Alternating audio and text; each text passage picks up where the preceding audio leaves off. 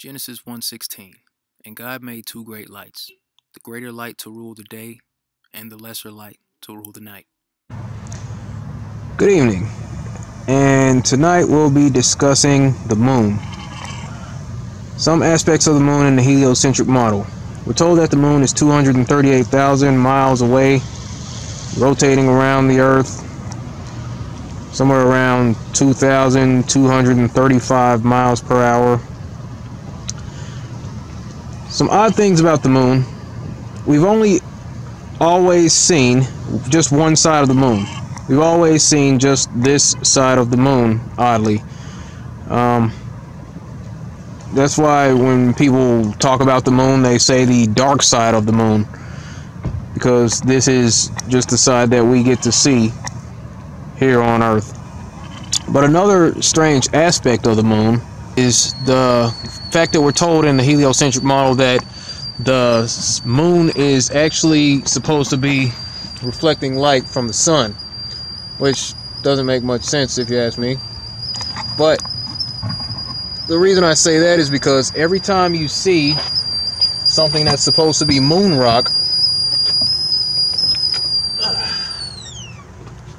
you see something that's supposed to be moon rock and it always has the surface that's uh, very very non-reflective. It, it, looks like it could be like cinder block. And the idea of something with that surface reflecting light from 93 million miles away if you think about it it doesn't make any sense.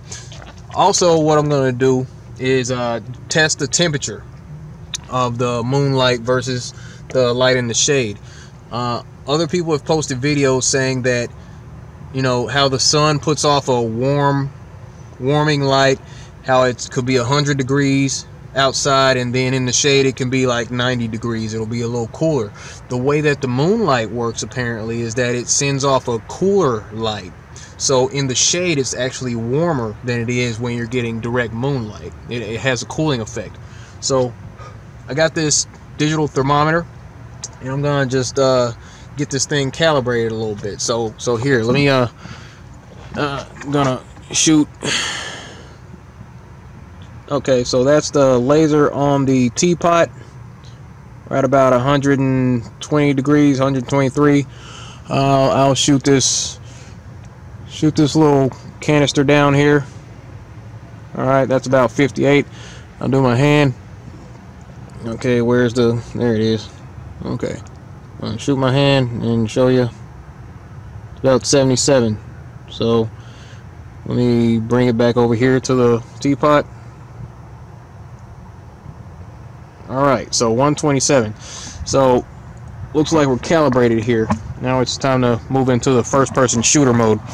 Alright, so what we have here is aluminum foil on uh, a, a little carpet from inside the van. So here, let's just shoot one side. Okay, so that's the far side. We got 16 degrees on that side. Okay, now we're going to do this other side here.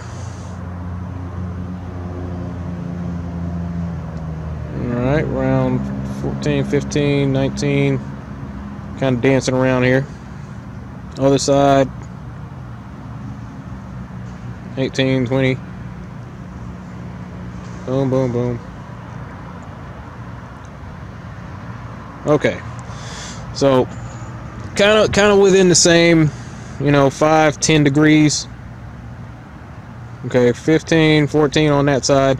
Then on the other side it's like 16, 17 right around there. So now uh, let's put the foil in the shade for a minute. I'll set up this artificial shade here.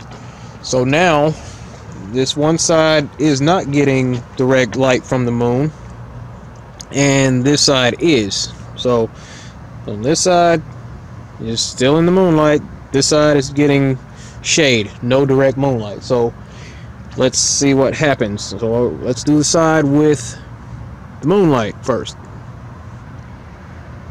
alright so we're shooting the side with the moonlight and we got four or five degrees okay Let's turn that off. Now we're to shoot this side. Okay, and we're at 44. 43. Alright, let's do this one more time. This side. That side with the direct moonlight. We're at 4 degrees. Oddly. And now, other side. 47. 48. Okay. Okay. So, that was a little different than uh, what we may have expected to see there but here, let me remove the shade and let the foil sit for a little bit because it just takes foil a little bit of time. And the clouds are starting to come back, cover the moon. Shining really bright tonight. It's beautiful. Alright, so maybe that was enough time for the aluminum foil to calibrate itself. So let's shoot one side 0.4 degrees other side. Still pretty low over there. All right testing again. Side 0.4 degrees. Okay this side out 8 degrees. Let's do this again. Let you watch it. Let you watch it now.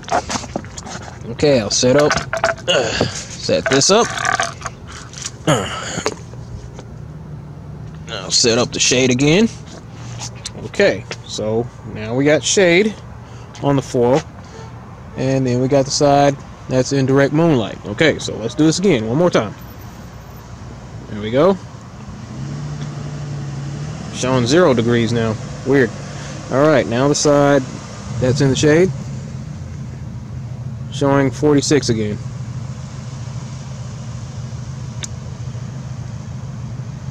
Okay. Well,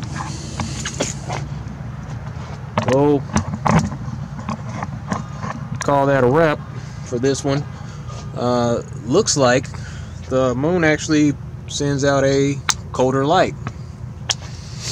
Uh, as opposed to what we've been told as far as the moon reflecting sunlight. Because if it did reflect the sunlight, then it would. that wouldn't do that. I could tell you, uh, it, it, would it would be reflecting a warmer light, but that's not what the moon's doing.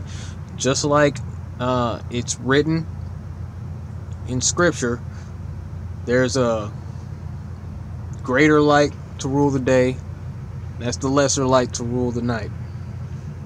That that's pretty much conclusive there. So you saw here that was the moonlight temperature experiment I suppose. But uh, that's all I got. Be sure to like and subscribe for more content. Hit the bell so you can get notification when I post a new video. Uh, be sure to link up with me and the crew. I'm at a new spot now. I'll be at FLAT Life, Flat Life, Fighting Lies Against Truth, and the future of Flat Earth. That's where I'll be. So uh, that that concludes this video. Thanks for tuning in. I'll see you.